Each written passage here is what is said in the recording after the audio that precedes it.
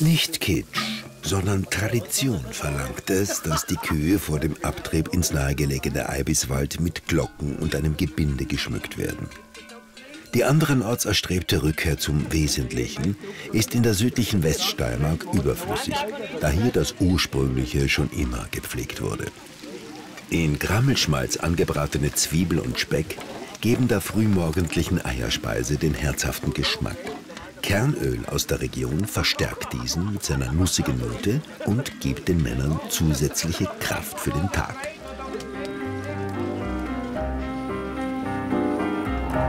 Zwischen steirischer Weinstraße, Kärntner und slowenischer Grenze beginnt der Morgen arbeitsam, aber ruhig. Von der Umtriebigkeit der Einheimischen bekommen die Besucher kaum etwas mit. Schließlich wollen die hier Urlaub vom Wirbel der restlichen Welt machen. Die Lebensgeschichten ihrer Gäste sind deshalb bei Fini Hasewend im Kirchenwirt kein Gesprächsthema. Viel lieber bringt die Chefin ihren Gästen das eigene Umfeld und die hiesigen Besonderheiten näher. So, möchtet ihr weiches Ei oder Kerneierspeis dazu? Guten Appetit, dir. Was viele Touristen hier suchen, ist die Kunst der Muße. Sich für Dinge die Zeit zu nehmen, die sie nun einmal brauchen. Eine Disziplin, in der die freiwilligen Teilzeit-Kuhhirten wahre Koryphäen sind. Und da hinten ist dann äh, die Celotetsch und der Kübelfleisch unbedingt zu verkosten. Eine unserer Ah ja, Spezialitäten. Ja, Danke.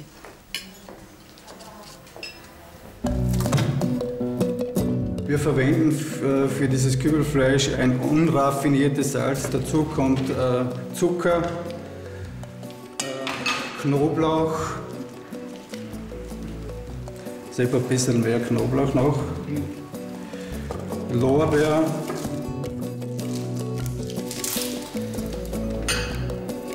Koriander, Wacholder,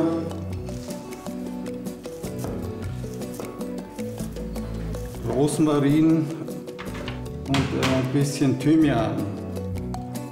Friedel Hasewend lässt in der hauseigenen Fleischerei des Kirchenwirts die Gewürzmischung 14 Tage in das Schweinefleisch einziehen.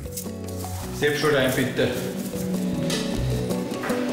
Das Beizen ist nur der erste Schritt, mit dem das Kübelfleisch, wie schon vor hunderten Jahren, schmackhaft haltbar gemacht wird. Danach muss es für einen halben Tag in die Selchkammer.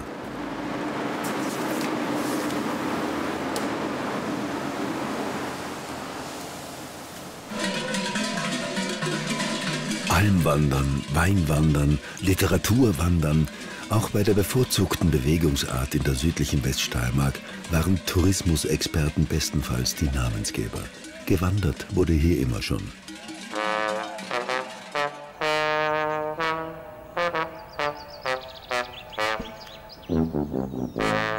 Unten im Tal der Weißen Sulm, wo früher rußverschmierte Kumpels Kohle abgebaut haben, regiert heute der grüne Daumen.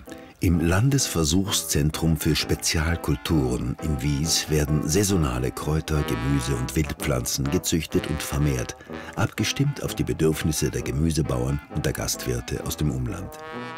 Auch der Rosmarin für das steirische Kübelfleisch von Friedel Hasewend kommt von hier. Trioro, Raiko, Monte oder Pinocchio. Unzählige Paprikasorten aller Farben und Geschmäcker werden hier geerntet, wobei untersucht wird, welche Pflanzung und Pflege den besten Ertrag bringen. Bei der Auswertung der heurigen Ernte werden diese köstlichen Nachtschattengewächse allerdings schon verspeist worden sein. Ich habe da noch eine Karte. Die, sieht ein bisschen, die geht ein bisschen mehr über die ganze Region. Und von Eiweißwald aus kann man auch sehr gut den Grenzpanoramaweg machen, entweder zum Radlpass rauf oder zur Kapuna-Hütte, von da nach St. Bongrazen. Und da kann man sehr gut in die Steiermark schauen und auch nach Slowenien. Hat man einen wunderbaren Ausblick Und dann geht man wieder über den Wanderweg. Da ist auch noch ein Anstieg und da geht es ein bisschen runter. Und in Bongrazen gibt es ein Wirtshaus, kann ein bisschen einkehren oder sonst von uns einfach eine gute Jause mitnehmen, den Rucksack ja. einpacken. Ja, das wäre doch eine tolle Sache. Das machen wir Fixer Bestandteil der Jause vom Kirchenwirt ist das Kübelfleisch, das nach seinem Aufenthalt in der Selchkammer ein halbstündiges Bad im siedenden Wasser genommen hat. Mit heißem Schmalz vollendet Fleischermeister Friedel Hasewend die geschmackvolle Behandlung.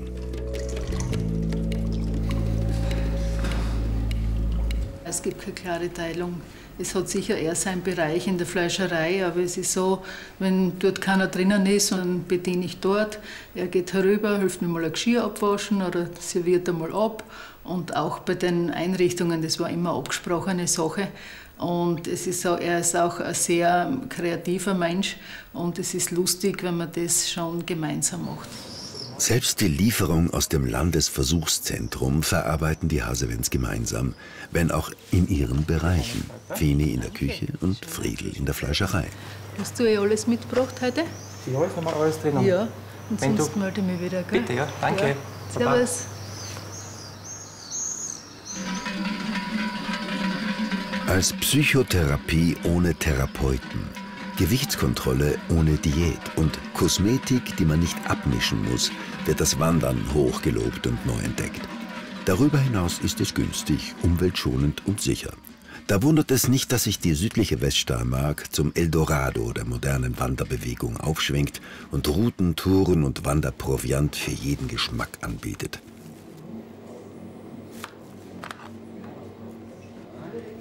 Von einstündigen Rundwanderungen bis zum Tagesausflug lernen die Besucher der Region unter Konfuzius Wandermotto Der Weg ist das Ziel kennen. Apropos Ziel. Für die Kühe ist in Eibiswald zunächst einmal Endstation. Doch keine Angst, noch haben sie keinen Termin bei Fleischermeister Hasewend.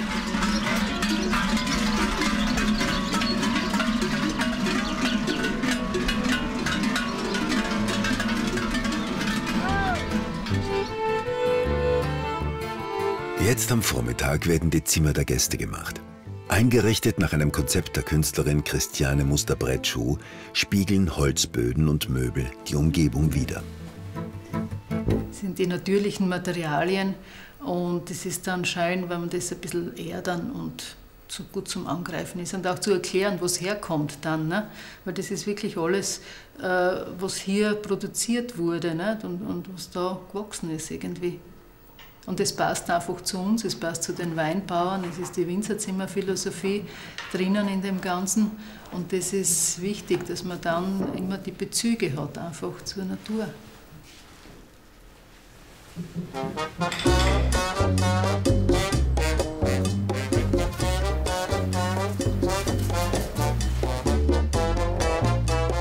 Bilder in den Gästezimmern stammen ausschließlich von Gerald Brettschuh, Maler aus dem benachbarten Arnfels. Jetzt will ich einen Blau hineingeben, dass, dass ich nicht nachschreiben muss. Und beim Malen entsteht nur ein Zufall, ne? mit technischen Mitteln. Leinwand, Farbe, Pinsel. Zufall musst du einbauen. Aber ich gehe nicht so weit, dass ich den Zufall überhand nehmen lasse wie vielen die Schitnome da drinnen, also rein, rein, rein, das ist mir zu viel Zufall. Ich bin ein Mensch, der den Gegenstand nicht verlassen will, weil der mir mehr Spaß macht. Gerald Bretschuh kämpft gegen sich und die Welt. Der Ex-Boxer muss gebändigt werden, will gebändigt werden. Und deshalb liebt er sie, Christiane Muster-Bretschuh. Innenarchitektin, Malerin, Muse und Herrin des Meisters und Menschenzeichnerin. Na, ich habe immer, also eigentlich fast immer was dabei, damit ich es intensiver erlebe. Das macht Kontakt auch. Ich habe mir das angewöhnt, wie ich sehr viel allein auf Reisen war. Ich reise sehr gern allein. Und da ist man dann nicht allein. Man kommt sofort ins Gespräch, so wie jemand mit einem Hund. Also dann kommt sofort wer und sagt, ich möchte das anschauen, toll. Und, und sehr oft war das auch als Studentin schon so, dass ich dann so für die ganze Runde den Wein verdient habe auf die Art und das halt dann rausgerissen habe. Christianes Managementfähigkeiten, gepaart mit ihrer Kreativität und ihrem Kunstverständnis, sind der perfekte Rahmen für ihren malenden Ehemann, den es schon früh in die Welt jenseits der grünen Riegel hinausgezogen hat, um mit dem Blick der Erkenntnis zurückzukehren. Wenn wir die, die in die Auswahl kommen, unten auf den Stapel drauf. Sehr gut, der erste Schnee. Der erste Schnee. Mm. Korn. Ja, ja, Karl. In welcher Landschaft du bist, das bestimmt deine Bilder. Und, und, ich bin jetzt schon mehr als 30, 33 Jahre wieder hier zurück. Und in den ersten, ersten Jahren habe ich äh, nur so Nebenbeilandschaft gemacht, weil sie so schön war. Und weil ich damals, wie ich da gewohnt habe und immer da war, das noch nicht gesehen habe, wie schön es war. Nachdem ich dann zurückgekommen bin aus Wien 1976, habe ich immer wieder kleine Landschaftsbilder gemacht. Und die habe ich gemerkt, da reißen mir die Leute aus der Hand wie die warmen Semmeln. Aber richtig Landschaften zu malen habe ich erst begonnen vor sechs, sieben Jahren.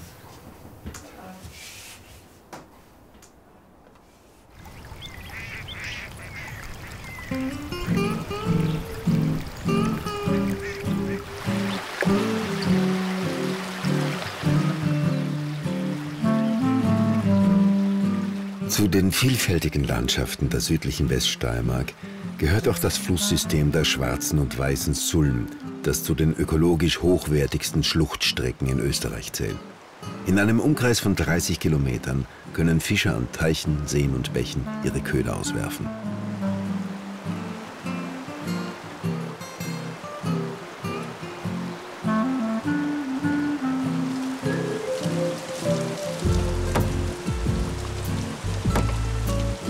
»22 Kilometer des Gebirgsfischwassers gehören zur Strutzmühle.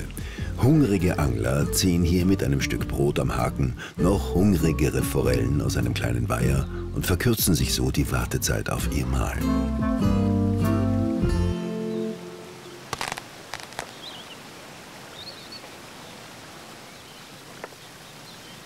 Es scheint, als stünde sie schon Jahrzehnte, wenn nicht Jahrhunderte in der kleinen Klamm.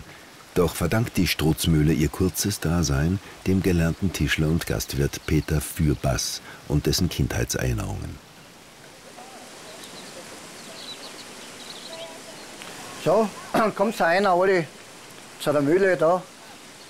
Da, wo wir jetzt stehen, da war überhaupt nichts da vor fünf Jahren. Das habe ich alles erst zusammengetragen. Ich habe da drei Jahre Bau dabei. Über 3.500 Stunden habe ich da gearbeitet. Wie mein Vater vor 50 Jahren mitgegangen als Bauer, waren da 24 Mühlen, sechs Sägewerke, alle im Betrieb. Und heute ist nichts mehr da. Heute, wenn du nicht weißt, wo ein gestanden ist, das kannst du überhaupt nicht mehr sagen. Das ist alles zerfallen, ist alles verwachsen, ist nichts mehr da. Ich habe drei Mühlen da zusammengetragen. Das ist für drei Mühlen, für verschiedene Mühlen, dass ich eine Mühle habe zusammengebracht. Da. Und jetzt gehen wir, schauen wir mal auf zu den Mühlen. Es gibt kaum einen Tag, an dem Peter Fürbass keine Besucher durch die drei Stockwerke seiner Mühle führt. Selbstverständlich ist das doppelgängige Mahlwerk auch jederzeit zum Einsatz bereit.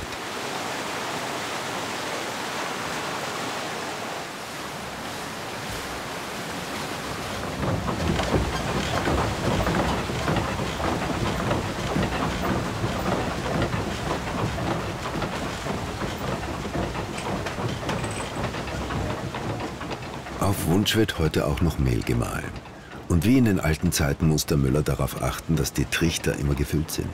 Ein ausgeklügeltes Alarmsystem kündigt den drohenden Leerlauf der Mühlsteine an. Wenn ich das voll aussieht, dann muss ich vier Stunden malen. Dann kann ich ruhig gehen schlafen. Ich habe da drüben einen Müllerstäbel und mit einem Bett. Da kann ich ruhig schlafen, dann habe ich aus dem Bett ein Kleid leiten. Dann muss der Müller wieder aufstehen und wieder aufschütten gehen. Äh, Weil es ist schlecht, wenn die Stange allein gehen. Das ist ganz schlecht. Das hier gemahlene Sterzmehl verwendet Peter Fürbass gleich vor Ort. Vorausgesetzt seinen Gästen ist das Anglerglück hold.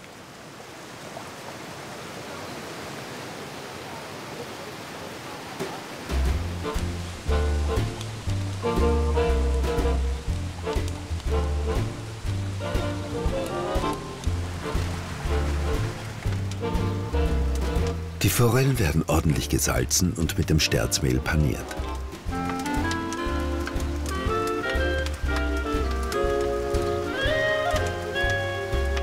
In der Zwischenzeit brät der Müller Erdäpfelstücke an und fügt Paprika und Zwiebel hinzu.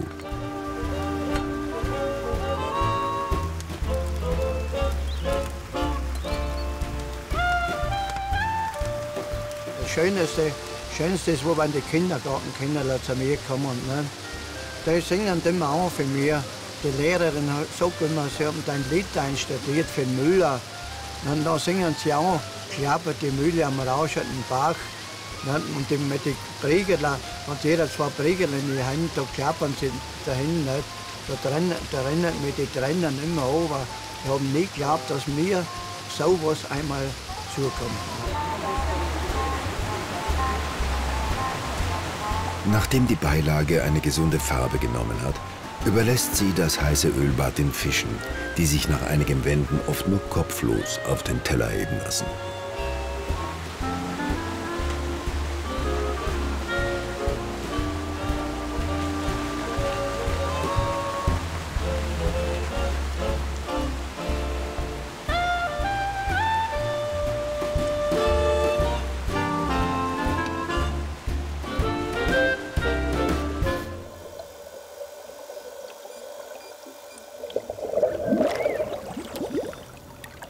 Am westlichsten Rand der südlichen Steiermark, zum Teil schon in Kärnten, liegt der Stausee Sobot. Unter seiner tiefblauen Oberfläche warten kleine Schätze darauf geborgen zu werden, völlig unbeachtet von den erholungssuchenden Touristen am Ufer und auf dem Wasser.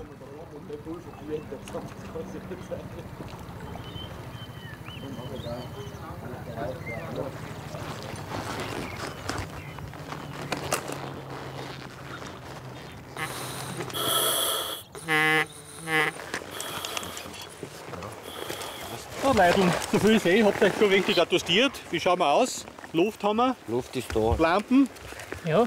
sind alle aufgeladen, ja genau. Da drüben haben wir auch die Dame. Bei der Dame, wie schauen wir da aus?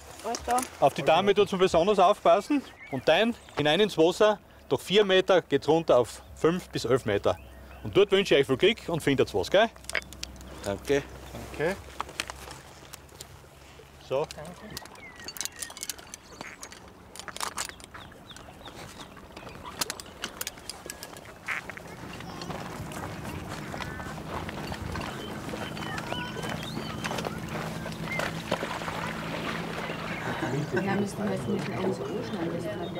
Nach der kurzen Einweisung durch den Betreiber der Tauchstation Gerhard Weißensteiner tauchen die Schatzsucher in eine kalte, dunkle Welt ab.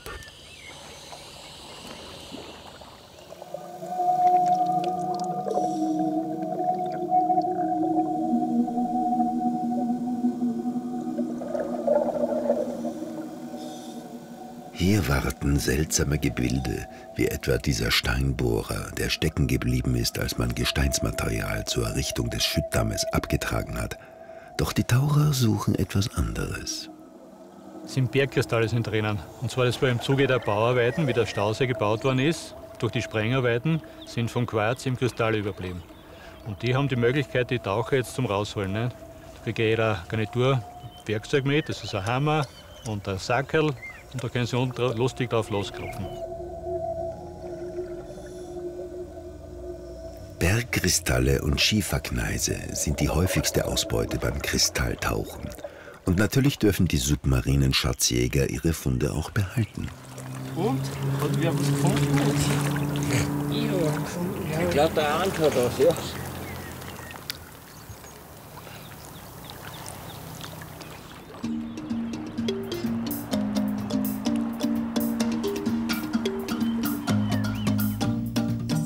Stausee über das Wanderdorf Sobot führt der Grenzpanoramaweg entlang der österreichisch-slowenischen Grenze und in die Geschichte der Region. Nach dem Zerfall der K&K-Monarchie sollte der kleine Ort St. Lorenzen geteilt werden. Die südlich gelegene Leonhardi-Kirche an Jugoslawien fallen. Doch als die Kommission vor Ort den Grenzverlauf festlegen wollte, fiel die ansässige Messner Bäuerin vor den Offizieren auf die Knie und bat St. Lorenzen samt Leonhardi-Kirche ungeteilt bei Österreich zu belassen. Mit Erfolg.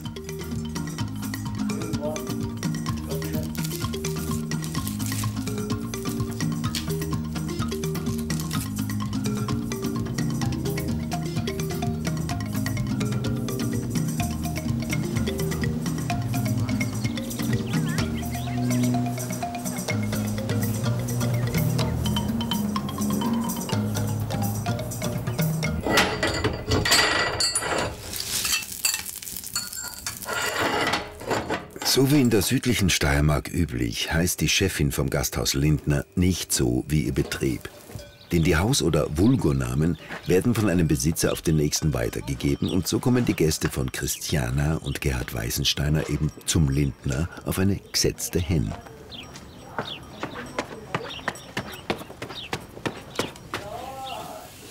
Servus, grüß dich. Ist alles gut gegangen heute Abend, ja? So, ja, wie geht's denn euch heute? Ah, Geht's eigentlich gut. ja? Sehr Ich bin ein bisschen länger drinnen geblieben. Jetzt muss ich aber zu den Finger gehen, Hunger. Die warten schon viel, gell? Grüß euch, dann, gell? Oh, spät ist halt schon. Nachdem Christiana Weißensteiner Zwiebel in Schmalz angeröstet hat, schneidet sie für die Füllung der Henne Semmel in Würfel.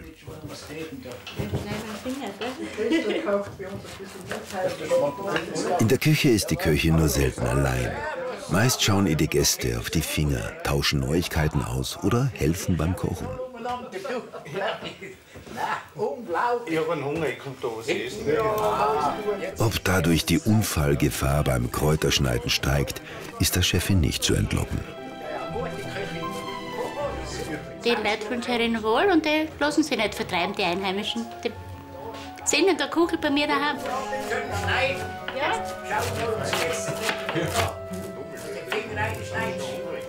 Zehn Augen sehen schließlich mehr als zwei. Und während die Gäste noch gespannt warten, wird vor dem Haus schon serviert. Hubert, Flasche! Hubert! Hubert, komm noch Flasche!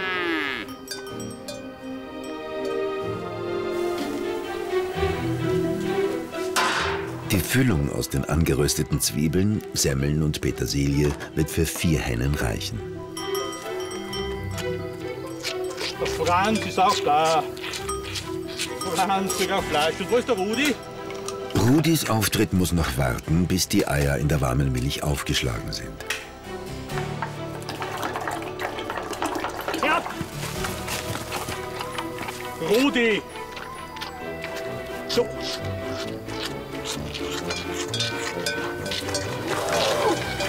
Wo ist denn?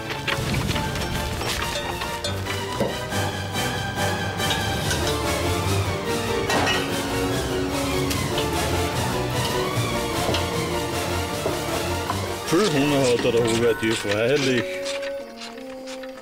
Gleich sind wir fertig. Gleich aus jetzt.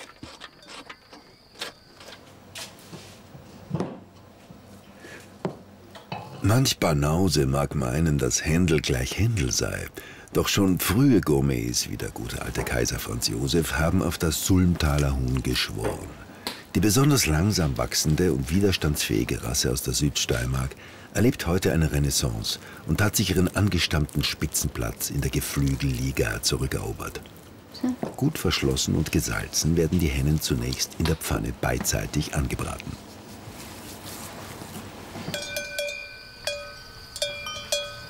Sammy, freilich. Nach und nach trudeln draußen die Kühe und trennen die Gäste ein. Beide wissen instinktiv, wann es beim Lindner etwas zu essen gibt. Kaum sind wir da mit dem Auto, sind sie da und mittwochs haben wir normal Ruhetag, aber das akzeptieren sie auch nicht, weil die sagen immer, beim Lindner hat es keinen Ruhetag gegeben. Und da tun wir sowieso und dann sind halt sie auch da, weil sind wir halt nicht allein.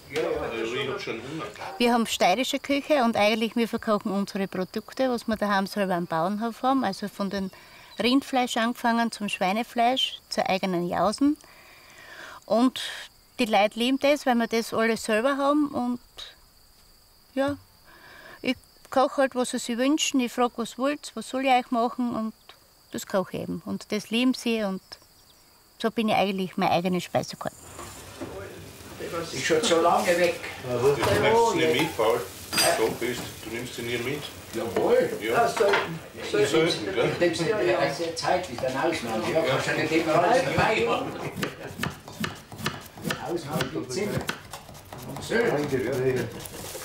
Ich bin alleine. Nach 40 Minuten im Holzofen werden die Hennen kurzfristig umgesetzt und die gesalzenen Erdäpfelscheiben mit Lorbeerblättern und Knoblauch gewürzt.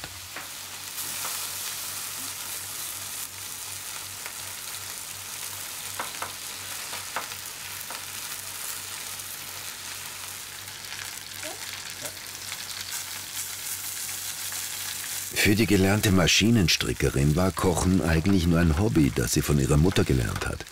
Dass ihre Gerichte nie hundertprozentig gleich schmecken, stört weder sie noch ihre Kundschaft. Ganz im Gegenteil.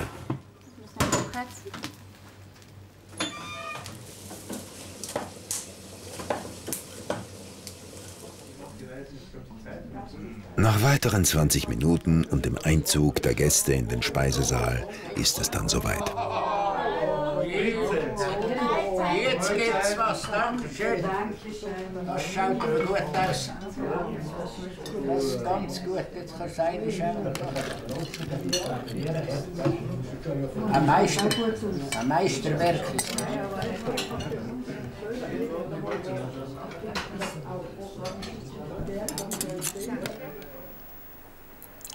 In Moskau ist er recht gut angekommen, nur Details. Wie ist es gegangen in Moskau? Ja, Moskau ist sehr groß und eigentlich vom Produkt her wäre es ein interessanter Markt, Interesse ist da, aber der Weg dahin ist ja noch ein bisschen äh, äh, weiter. Hm, schon sehr fein. Waltraud Jöpstel gilt in der Steiermark als die Grande Dame der Brände. Wir fahren unter dem Motto, äh, Schnaps ist weiblich oder Betrieb ist weiblich. Wir sind die ersten Messen gefahren. Nur in Salzburg haben sie immer gesagt, gibt es bei euch keine Männer. Es hat einmal jemand gesagt, äh, die tut leicht, die fährt umeinander und die Männer müssen daheim arbeiten. Die Wirklichkeit ist die, meine Mama ist nie gern in die Öffentlichkeit gegangen. Ja, und so hat sich das eigentlich ergeben, dass wir, die Frauen, äh, vorne an der Front waren und etwas gibt es noch.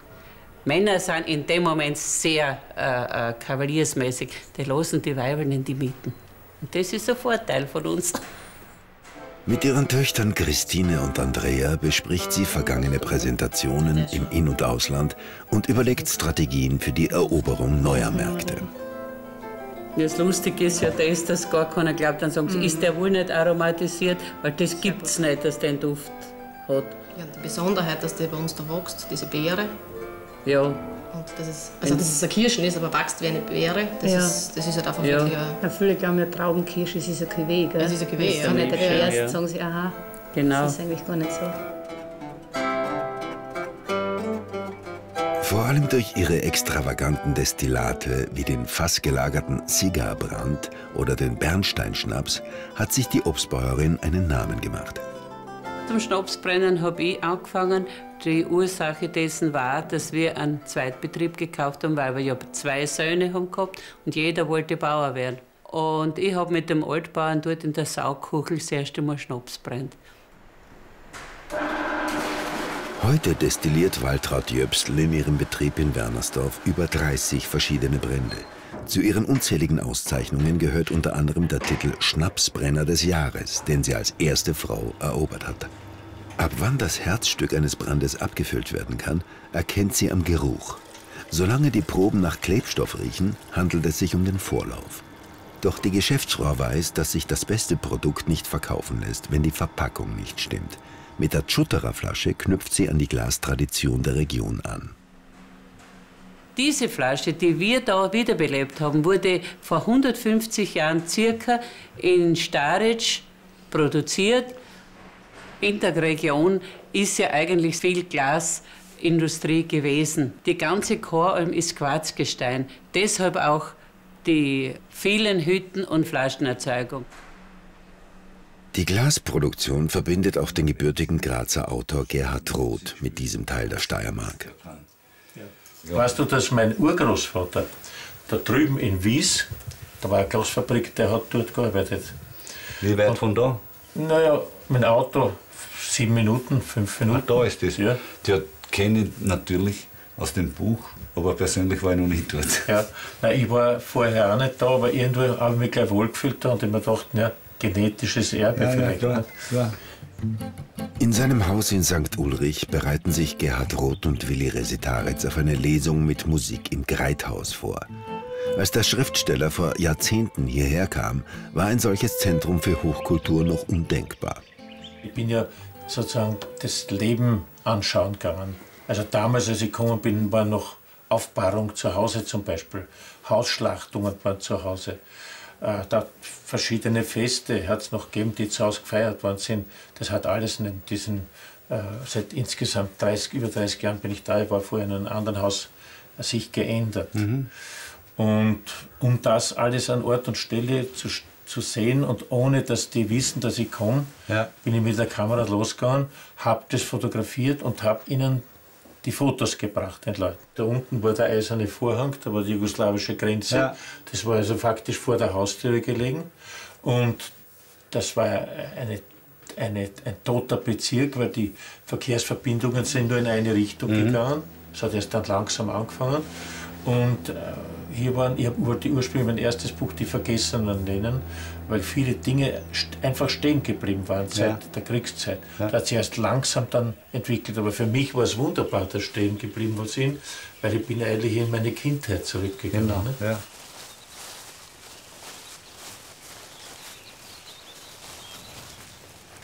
Früher konnten österreichische Wanderer die Kirche von St. Pongrazen am Grenzpanoramaweg nur an bestimmten Tagen und mit einem gültigen Personalausweis besuchen, denn der barocke Bau steht auf slowenischer Seite.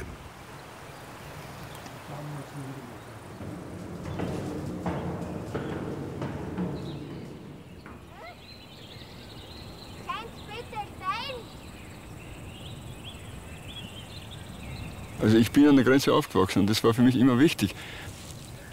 Die slowenischen oder windischen, genauer genommen, das ist ja ein Dialekt geredet worden, Gesänge der, der Taglöhner, die am Abend oder am Nachmittag vom Bauernhof nach Hause gegangen sind.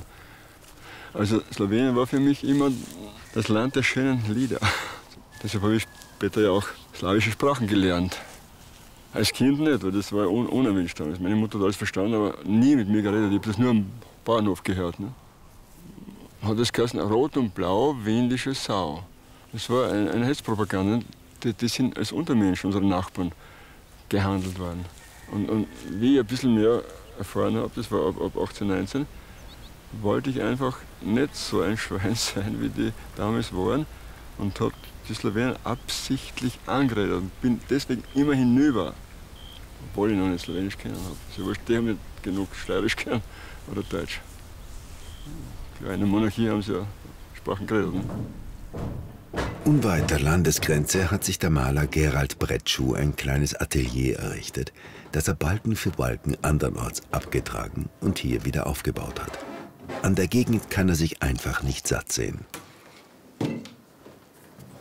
Dieser Platz bedeutet für mich alles, wäre zu viel gesagt, aber fast. Das, das ist mein Tempelplatz, mein heiliger Berg. Der bringt mir was, was nicht so leicht zu beschreiben ist mit Worten. Glück, Freude. Sie haben uns einen rosaroten Essig vorgesetzt, den Sie Schilcher nannten, schrieb Papst Pius VI. im 18. Jahrhundert auf einer Reise durch die Steiermark. Hätte er doch nur den süßeren Clarett verlangt. Ja, der Clarett ist im Unterschied zum normalen Schilcher eigentlich eine andere Variante des Schilchers. Also, wie soll ich jetzt sagen, der Schilcher wird Ja, wird einfach gerebelt. Und äh, der Saft, was beim Rebeln eigentlich als erstes wegläuft, ist weiß. Der Schilcher ist ja aus einer tief dunkelblaue Beere und das Fruchtfleisch innen ist weiß.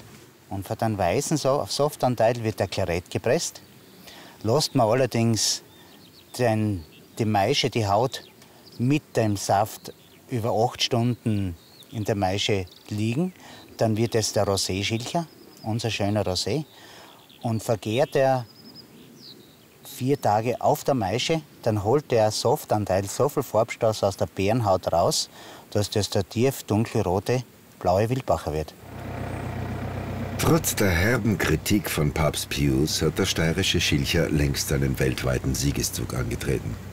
Um aber auf Nummer sicher zu gehen, werden in der Buschenschank Klirsch neben dem Klarett noch sieben weitere Schilcher-Variationen angeboten. Manchen Gast bringt das zum Jubiläum, allerdings nur jeden zweiten Freitagabend.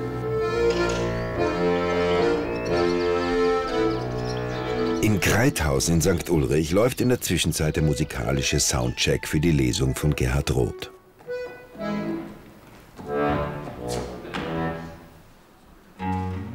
Der Wiener Dichter und Liedermacher Ernst Molden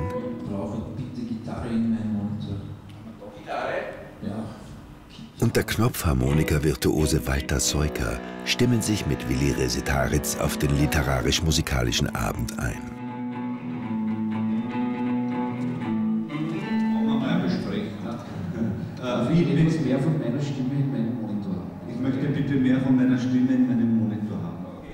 Kultur, so zeigt auch die ausverkaufte Lesung, funktioniert auch am Land. Und wie? Seit dem Jahr 2000 finden hier Konzerte, Ausstellungen und Theateraufführungen statt, zu denen die Zuschauer selbst aus Graz anreisen. Als die konzentrierst, dann riechst du am Nussbaum. Als die Augen zumachst, erst der Tag.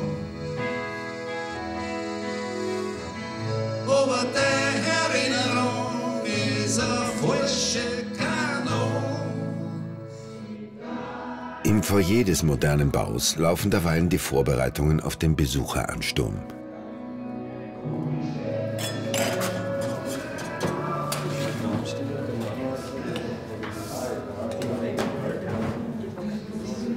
Neben rund 400 zahlenden Zuhörern werden auch wieder Fernsehteams und Printjournalisten erwartet. Eine gute Gelegenheit für die Laubdorfbauern, wie sich die einheimischen Produzenten nennen, ihre Produkte über die eigenen Gemeindegrenzen hinweg zu vermarkten.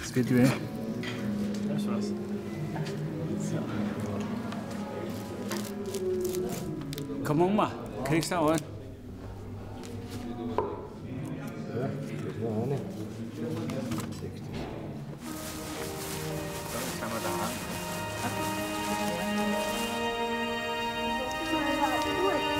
Mit den letzten Sonnenstrahlen kommt die Familie Safran von ihrer Wanderung entlang des Grenzpanoramawegs nach Hause.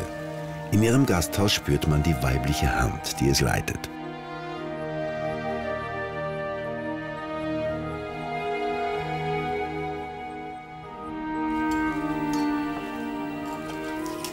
Wir kochen eigentlich äh, schon jeder für sich, aber Chefin natürlich bin ich. Nicht? Barbara, bitte Topf in Schön. Schwester Maria und Schwiegertochter Barbara unterstützen Christiane Safran tatkräftig. Ich übertrage die Aufgaben an den anderen, also an meine Schwester. Oliver, bitte den Thymian. Auch? Okay.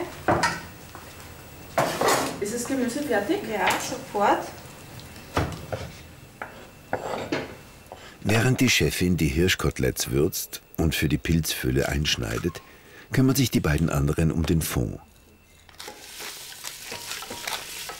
Karotten, Knoblauch, Zwiebel, etwas Thymian und die Reste vom Hirschfleisch werden kurz angebraten und mit Pfefferkörnern und Wacholderbeeren verfeinert.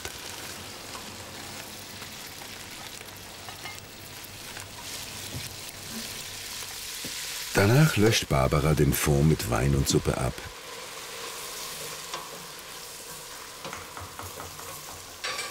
Für die Nusssterzecken rührt Maria Maisgrieß in heiße Milch ein und würzt mit Salz, Pfeffer und Muskatnuss.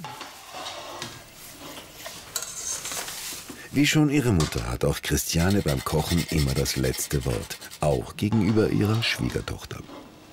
Sie ist äh, vom Fachlichen her äh, wahnsinnig gut, muss ich sagen. Ist natürlich manchmal, passt ihr nicht immer, was ich sage, aber ich glaube, sie schluckt dann einfach hinunter und dann geht's wieder. Also wir kochen wunderbar zusammen.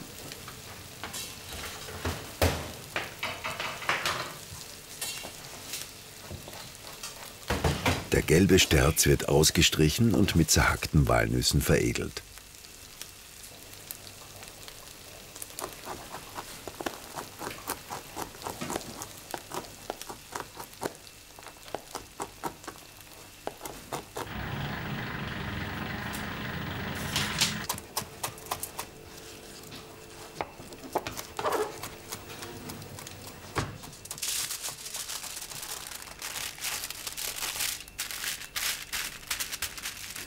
In Eibiswald hat Friedel Hasewend inzwischen das Fleischermesser gegen die Filmrolle getauscht.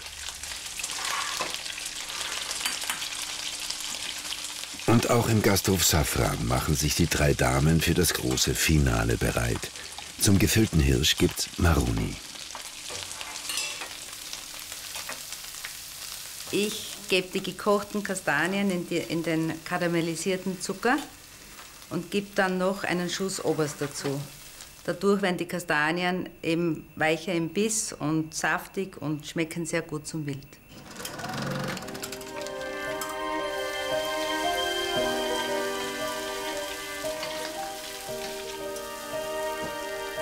Noch ein Schuss Obers hier.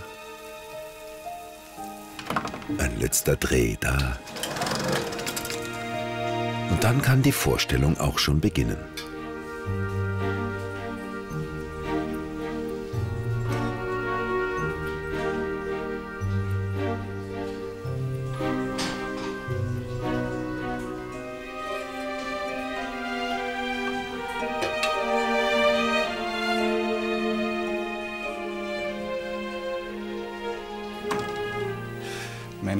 Haben mich schon als Kind äh, aufs Kino gehen eingeschworen. Also sie haben mich schon mitgenommen. Das hat mir sehr gut gefallen. Ein Film war es mir besonders in Erinnerung von Jules Verne, 20.000 Meilen unter dem Meeresspiegel. Meine Eltern haben dieses, diesen Betrieb gekauft. Da hat es auch ein Kino dabei gegeben und ich habe mir dann damals schon also in die Vorführkabine geschlichen und auf den äh, Gleichrichter gesetzt und habe einmal durch das Kabinenfenster auf die Leinwand geschaut. Das waren ganz tolle Filme auch, die mich sehr fasziniert haben. Und heute konzentrieren wir mit uns mit unserem Kino äh, auf das europäische Kino. Wir schauen, was auf den Festivals in Berlin, in Cannes gut läuft. Und das sind dann unsere Filme, weil europäische Kinokultur ist unsere Sache.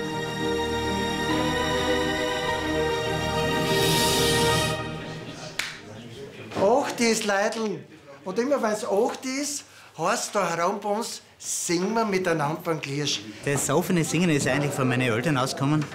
Und dann haben wir, haben wir einen lieben Freund gehabt, der was zum Haus kehren schaut, kann man sagen. Den Kügel Kurtl und seine Frau, die Hansi. Und der hat gesagt, ja, wir möchten natürlich alle davon teilhaben lassen. Und dadurch ist nachher so entstanden, dass die gesagt haben, die kennen verschiedene Texte, sie kennen verschiedene Texte. Wir machen ein offenes Singen beim Klirsch. Jetzt geht das offene Singen ins neunte Jahr. Und kaum einer der Gesangsabende ist bisher ausgefallen. Dabei geht es weniger um das perfekte Erlernen eines Liedes, als um die hemmungslose Freude am gemeinsamen Singen. Weshalb Vorsänger Kurt Kügerl auch kein Lied wiederholen lässt.